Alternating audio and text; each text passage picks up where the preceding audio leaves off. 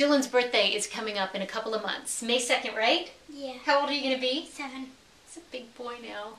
And um, whenever we go into a store lately, he tells me what he wants for his birthday. Everything from what? What are you What are you excited about? Um, trucks, cars, Legos, DS, DS. the video game. Um, so he's been telling me all these things that he would like and asking me to put them into my phone so that I won't forget. I won't forget. um, but I explained something really important to him about his birthday and about presents. What did I tell you? Do you remember that not it's not about just receiving presents on your birthday, but what? It's about giving presents too. About giving presents to who? About giving presents to the people that don't have as much as us. And especially kids who don't have as many toys as you have. Do you have a lot of toys? Yeah. You have a lot of toys. So and I have some that I don't use anymore.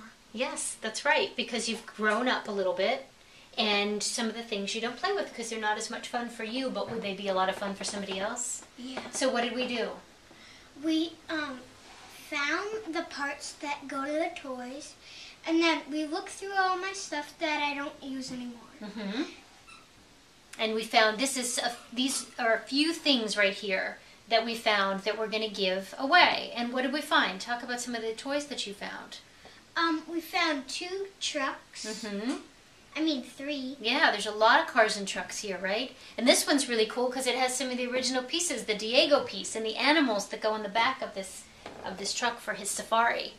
Um, and um, a lot of these things are practically brand new, and what a waste that they're just sitting in your toy box. So, how does it make you feel, buddy, to to give toys to kids who don't have as many toys as you? It makes me feel really good. And and do you think that they're going to be excited to play with them? Yes. So we've given we give stuff away every year, and um, a lot of the times we've given to the Salvation Army. I hear you, Rosie, or we give to um, the veterans, and they, come by in a truck and, and they really help us out um, by picking it up for us. This year we decided that we were going to give to the Lupus Foundation, um, and you know what? For a long time now, I've been receiving these bags in the mail, and I just put them aside.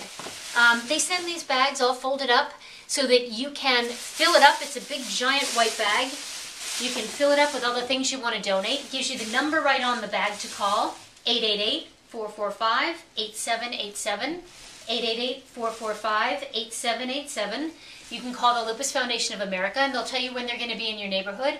Leave all your stuff on the doorstep at 7:30 in the morning on the day of pickup and mark it with either this bag or say LFA, Lupus Foundation of America, and they come and pick it all up for you and it's going to a wonderful wonderful cause. They're helping out a lot of people.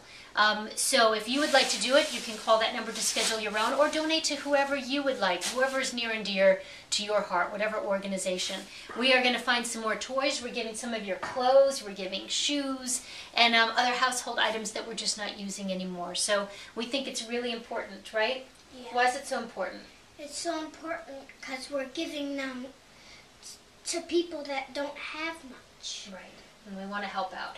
So we hope that you'll help out too and look through your house because we've all got stuff that's just it's just sitting there going to waste and it can it can really do a, a whole lot of good for for people in need. So we're going to continue collecting. We got to get it all bagged up and out on the front steps for pickup. And um and we'll uh, we'll let you know how it goes. So we'll see you later. Bye. Bye.